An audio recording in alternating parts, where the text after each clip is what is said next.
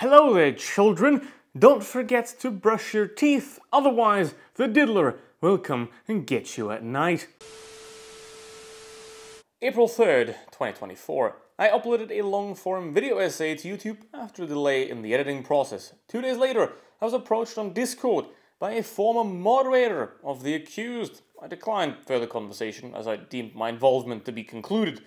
As it turns out, I should have listened. I'm not gonna say I told you so, or anything of that sort, because that would simply not be fitting. All I am gonna say is, I fucking told you. Since sex crimes are bad, or the video I had made back then, it received some backlash from a lot of commenters in the comment section, and to all of you out there, uh, don't worry, I'm not mad. Everybody falls for bullshit sometimes. I, somebody gets caught up in their own bullshit. It, it, as long as you realize in the end that you were wrong and you change your opinion and you become a better person and hopefully try to not fall for similar things in the future, it's all fine. I don't want an apology. I don't care. Simply do better. Look at the things that you're presented. Try to understand the signs of whether someone's a good person, whether somebody's a bad person. I don't claim to be a good person, but basically make up your own mind. Don't just blindly follow somebody because just because somebody's famous, just because somebody's relevant, doesn't mean that they're correct, doesn't mean they're good. Sometimes it simply just means they got relevant either by sheer brute force, by making about 1500 crap videos, or they're eccentric. And eccentricism sometimes results in fiddling.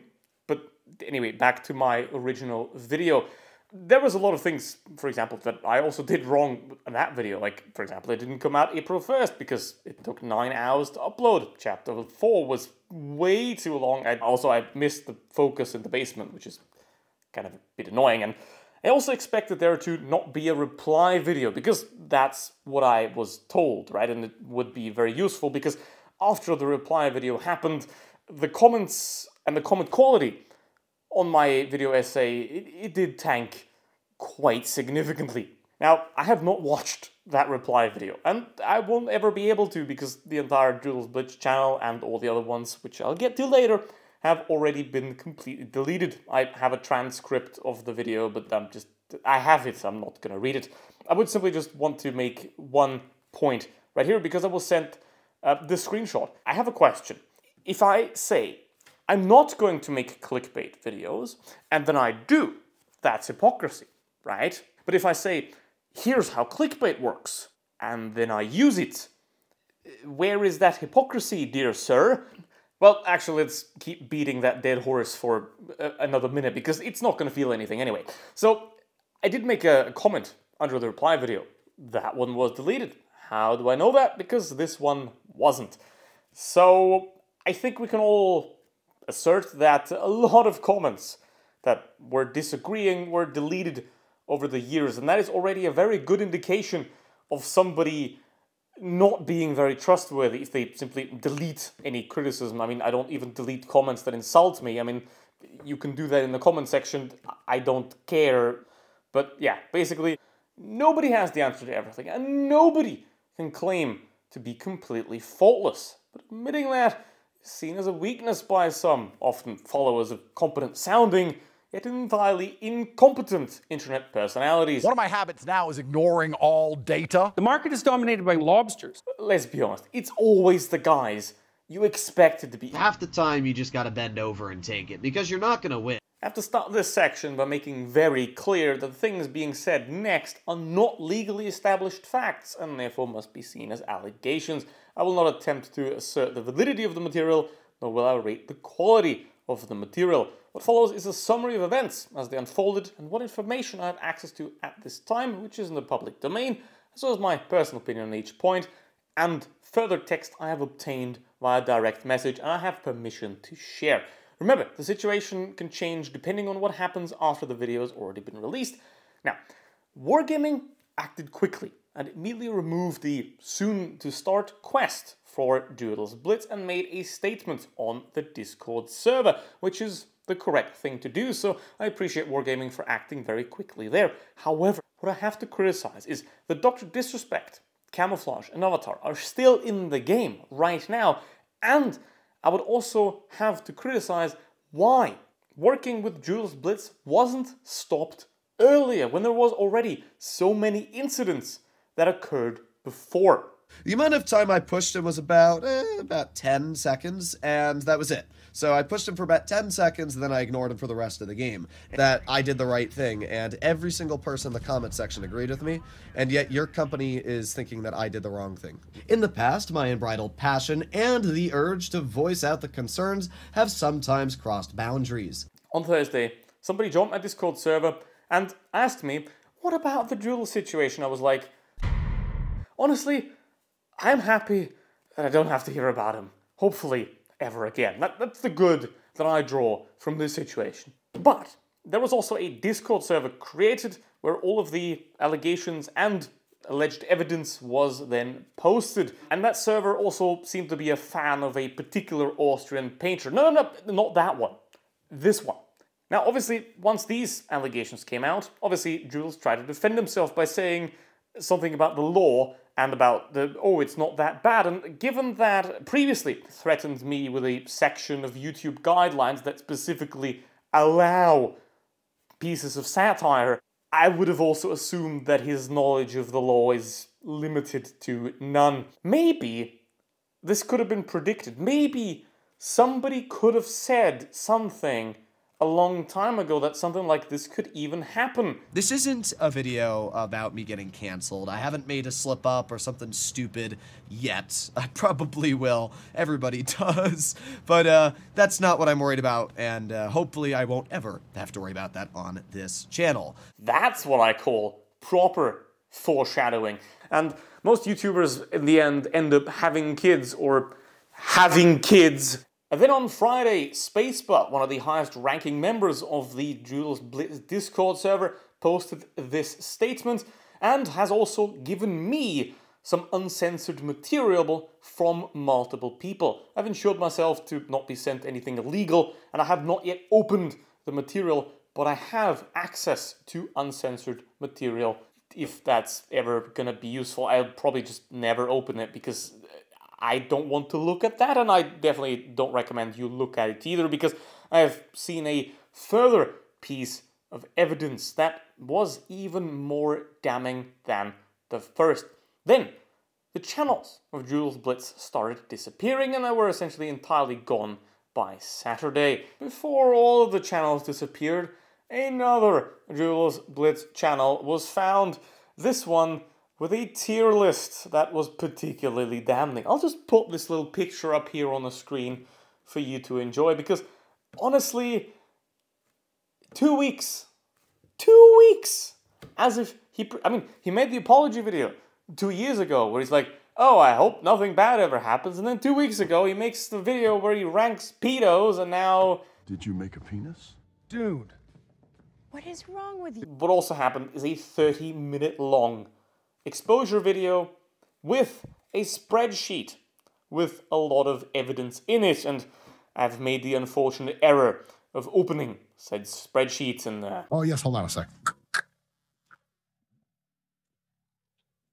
the person that made this video is the exact same person, Andy Poe, that contacted me two days after my original video. And I kind of do regret not talking about it sooner because if I would have accepted the information at the time, maybe all of this wouldn't have unfolded as it did.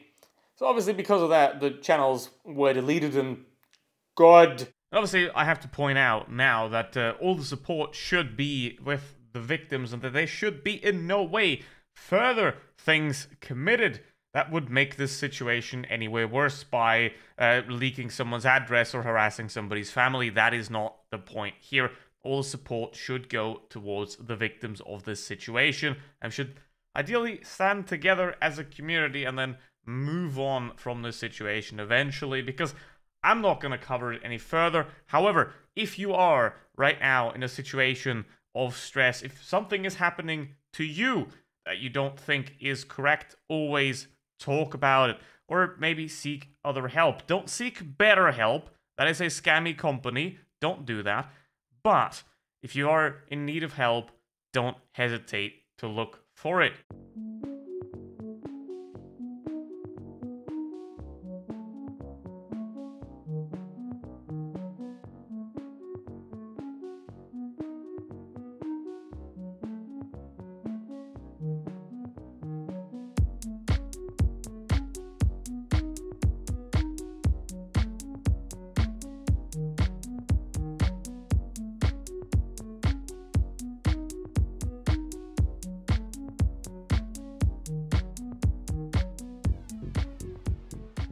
The dude is questionable. Has been the entire time. And the more popular he got, the more confident he became in his ability and in his truth, essentially, that he can do no wrong, that he is the one. Even bragged about things like writing the book on Blitz content. I don't think that uploading three unedited videos a day is really writing the book on anything, but uh, what happened here is that he kind of got high on his own supply.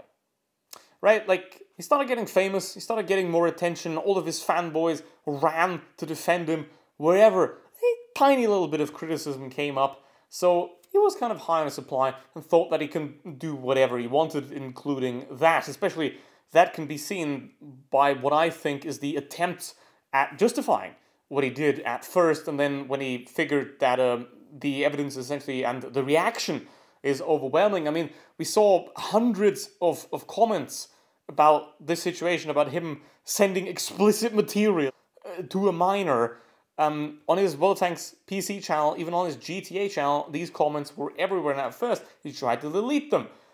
That's what an innocent. I think deleting things is what an innocent person does, right? But I'm not sure. Like, I'm not saying anybody's guilty, but eh, I don't know. But yeah, the comments started disappearing. The channels then started disappearing. So I think we can now conclude that it is all over. Now, from a legal standpoint, as you might or might not know, that Fujit Blitz is actually a lawyer, so I asked him uh, what he thinks uh, of this. But obviously, this is just a speculation and a opinion as well. But essentially, because there was no like physical interaction, I mean, how could there be somebody that never leaves his room?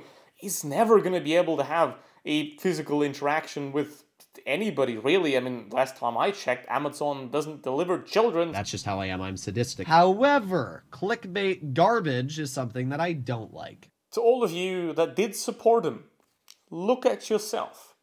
What have you done wrong? Where did you miss a critical piece of evidence? Because I don't want an apology. I already said that. Ask yourself what can you do better? Don't just blindly believe the next person to appear as well. Don't do that. Don't blindly believe anybody on the internet. Always try to find out whether something is truthful or not. I already said that in the first video essay. You always want to check your sources. And if somebody says that they are the answer, then they are definitely not. And obviously, in the original video, I said that he's a liar and a fraud that was my opinion. But I did also say that he's not a terrible person, and I would kind of like to take that back now. I merely said it because I don't like being sued. I can only reiterate what I've been saying for a long time now. I'm not mad.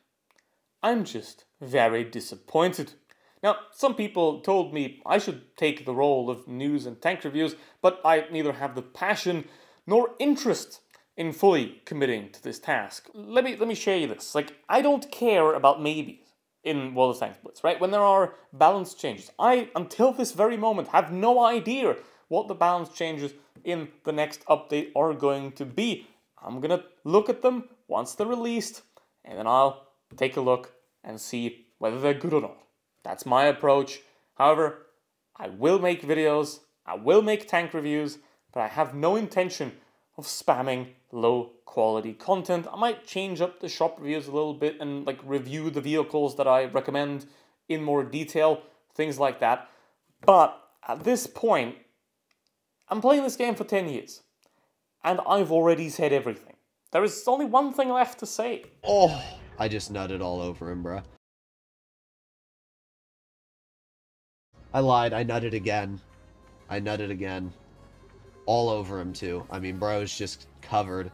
The Blitz community simply deserves better.